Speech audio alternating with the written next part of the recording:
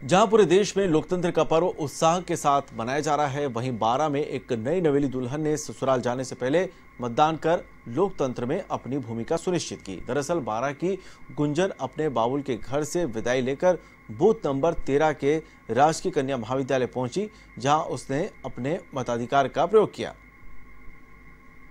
ये बारह की तस्वीरें हैं, जहाँ पर एक नई नवेली दुल्हन मतदान केंद्र पहुँची और अपने मताधिकार का प्रयोग भी किया। लोगों को जागरूक भी किया। हालाँकि ये जो तस्वीरें होती हैं, वो साफ़ तौर पर टीवी स्क्रीन पर आने के लिए होती हैं, क्योंकि लोगों का अट्रैक्शन जो है इस समय बढ़ जाता है और लोगों को पता भी रहता है कि ऐसे समय में जो कैमरे हैं, खुद ब खुद इन तस्वीरों के प्रति खींचे चले आते हैं। लेकिन फिर भी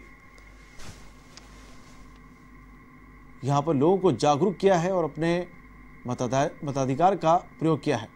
नई नवेली दुल्हन वहाँ पर पहुँची और अपने अमूल्य वोट डाला। बारह की तस्वीरें हैं जहाँ पर बड़ी संख्या में जो महिलाएँ पुरुष हैं वो लाइन में लगे हुए हैं और अपनी बारी का इंतज़ार कर रहे हैं। गर्मी काफ़ी है, धूप भी कड़क है, उसके बावजूद भी उसका जो असर है वो उन लोगों पर नज़र नहीं आ रहा है और काफ़ी उत्साह दिख रहा है। काफ़ी खुशी जो चेहरे पर है वो दिख रही है।